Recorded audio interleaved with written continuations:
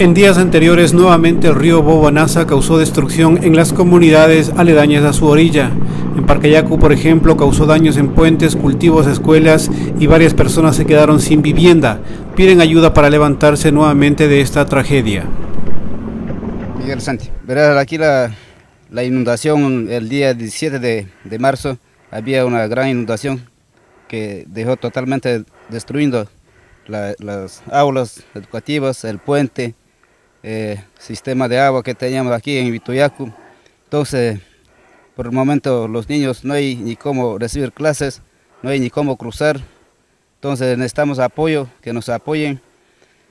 Eh, especialmente las familias también estamos bien afectados que vivimos en este, en este, este centro educativo que se llama Vituyacu. Aquí hay un, un total de 86 socios, pero en familia estamos casi unos 27 familias. Eh, se ha, crecido bastante, bastante, era al tope de las 10 de la mañana, entonces no había ni cómo defender porque nosotros también teníamos las casas bien inundadas y nos tocó correr a unas lomas para, para poder salvarnos. Eh, hasta hoy tenemos casi cuatro acrecentadas. Antes los, nuestros abuelos dijeron que no había, sí había acrecentadas, pero no tanto como había pasado en, Ahora. Estos, en estos momentos. ¿Y cómo les afecta el que no haya el puente?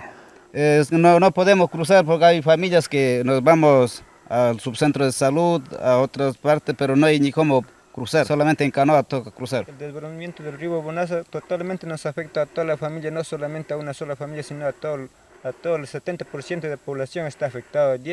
Teníamos nuestro mercado, un, un centro de acopio aquí, era organizado de las mujeres y donde sabían vender nuestros emprendimientos, plátano, yuca, eso se totalmente dejó desbordar el río. Ahorita la gente nos están preguntando cómo nos podemos recuperar eso, podemos o no, pues a nosotros como autoridades están diciendo que apoyen, o se pidan, hagan gestiones aquí, a las autoridades. Aquí totalmente perdido, pues, agua entubado. Puente.